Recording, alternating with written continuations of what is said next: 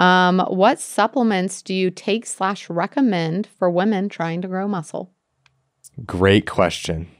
So within this one, I think that this is a very, very important thing to drive home is that most women and, and most men as well are really just needing to eat in a caloric surplus for an extended period of time. And an extended period of time is not three months, it's not six months, it's not nine months, it could be two years. You need to eat in a caloric surplus and train really hard. And I mean really train and progress your lifts and get better at the execution of your lifts and all these different factors, those two things alone and prioritizing your sleep are all going to be much more beneficial than any supplement that you would be taking um, within the achieving the muscle growth that you're wanting to create. And uh, that's too much work. it is a lot of work. It is a lot of work.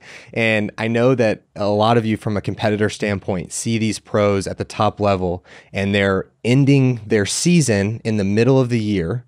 And then they've got the Olympia at the end of the year. And then you see them posting of like three months off season, like three month improvement season. I'm jacked now. I've put on like three inches to my glutes.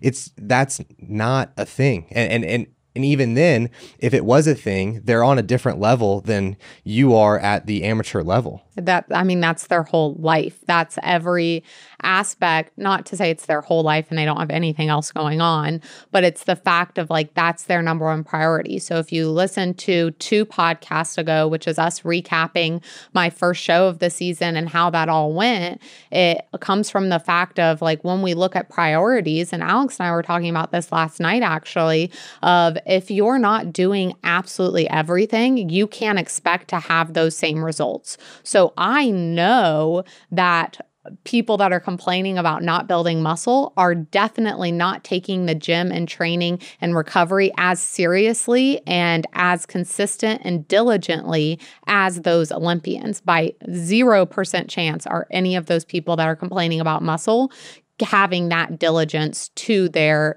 fitness. And it's okay if you don't have that diligence. By no means am I saying that if you don't have that diligence, you're not fit, you're not into fitness, you're not as important as those people. It's just saying you have to understand where priorities are and what you're putting into it in order to get out of it.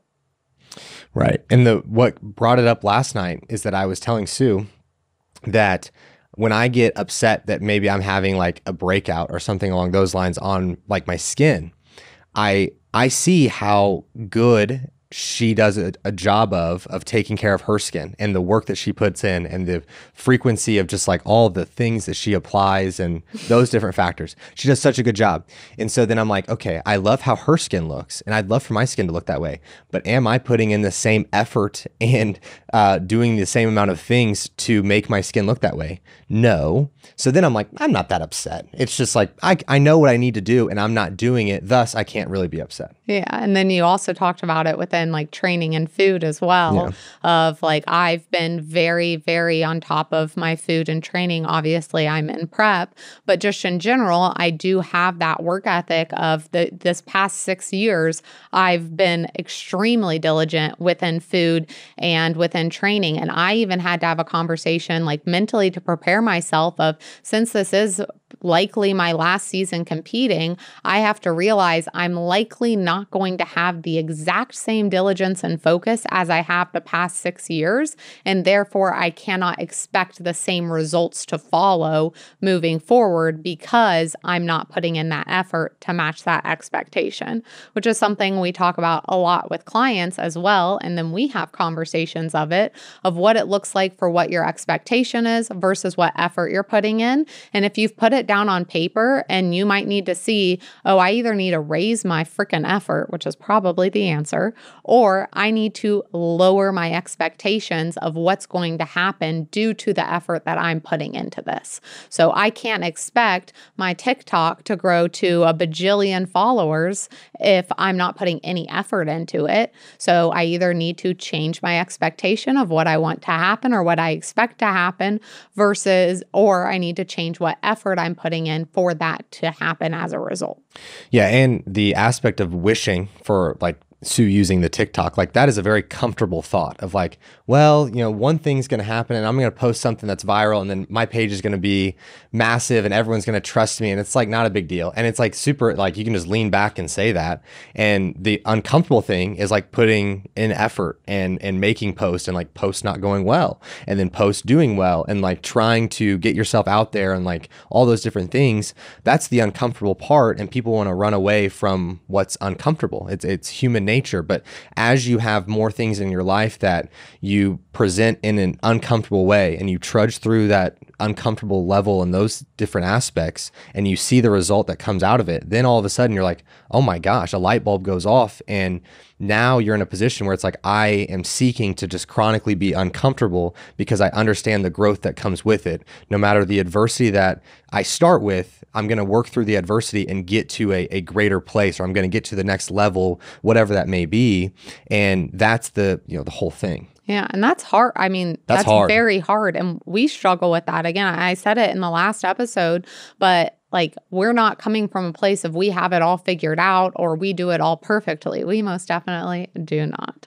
We're human beings, but we are constantly trying to learn and evolve and have conversations to reflect on where we can be better and where we can look at, hey, am I pushing into my comfort zone? Because that conversation last night stemmed into where our comfort zones are and like what we need to do to get to where we want to by putting in that effort. Like we still have to have those conversations with each other of saying, oh, I'm not in this place yet.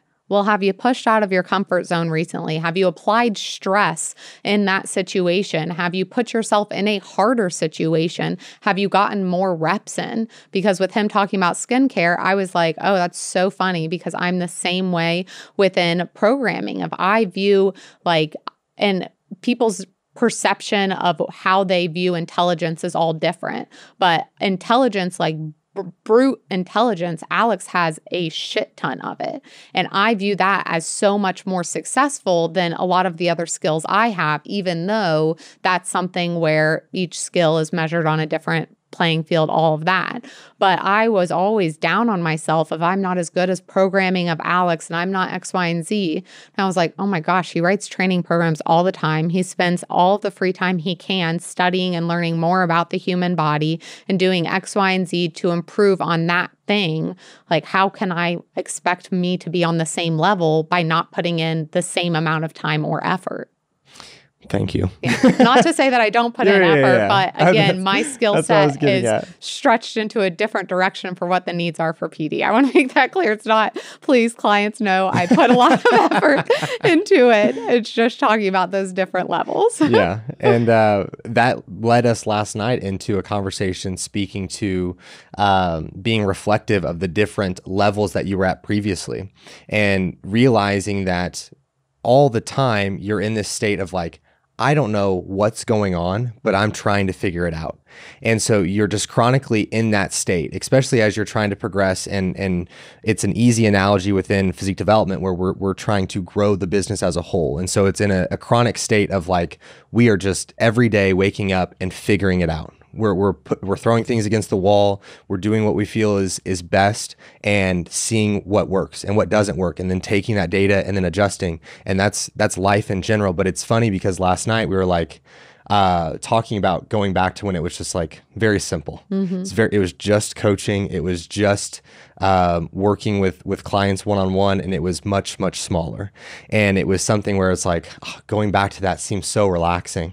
And it, the reality is is that at that time I felt the same way that I do now of like I'm just trying to figure this thing out. I'm trying to keep the boat floating and trying to figure out what I'm doing. Mm-hmm. And but when you're reflecting, it's like, oh, that was easy. Like that that stage of life, so easy. Can't even can't even fathom how easy that was. I you know, and so um, that's something important. Of like, it wasn't as easy as you're making it out to be. You know, almost 10 years later. Like yeah. at the time, it was probably just as difficult as this level in, in life is as well. And we're even like re reflecting and re imagining that because again within our staff of looking at where some of the coaches are and there where we were multiple years ago.